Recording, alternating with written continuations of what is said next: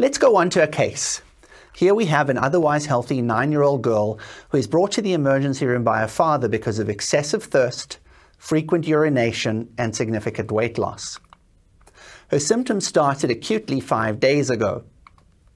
Vital signs reveal a temperature of 36.6 degrees Celsius, a blood pressure of 100 over 65, and a pulse rate of 105 beats per minute. Physical examination shows a thin girl with dry mucous membranes and eyes that appear sunken in her orbits.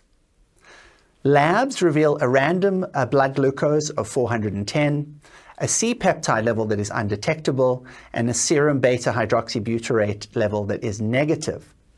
What is the most likely diagnosis? Looking at this case, one first notices the age of the patient a nine year old girl who comes in with what seems like the classic symptoms of diabetes. She has excessive thirst and frequent urination, but is also now associated that with, with significant weight loss and is more likely to manifest with type 1 diabetes.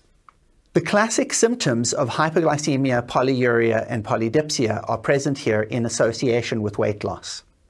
The elevated glucose is caused by insulin deficiency. This leads to increased glucose in the urine and her urine volume, which is called an osmotic diuresis. She has volume loss or excessive urination from the body, and this leads to dehydration and worsens her symptoms more acutely. Her heart rate is elevated and her mucous membranes are dry and her eyes appear sunken. These are examination features that bring you to the conclusion that this patient has dehydration, probably a combination of reduced oral intake combined with increased urine output. She suffers from a lack of insulin and she is breaking down protein stores to generate energy, which leads to the reduction in her body mass index and causes her drop in weight. She has a clinical manifestation of dehydration or volume loss as evidenced by dry mucous membranes, tachycardia, and reduced skin turgor, as well as a lower blood pressure. When one sees this manifestation of eyes that appear sunken in the orbits, it generally implies clinically that the dehydration is more advanced than one would encounter without this manifestation. As you can see from her labs, her serum glucose is markedly elevated at 410 milligrams per deciliter. As you know from the normal ranges, this exceeds a random plasma glucose of 200, uh, greater than equal 200 milligrams per deciliter and will clinch the diagnosis of type 1 diabetes in this patient. The C-peptide is undetectable and usually a low C-peptide indicates that there is a lack of endogenous insulin secretion, the sort of thing that you would expect in a patient who has type 1 diabetes, which is also induced by autoimmune destruction of the pancreatic islet cells.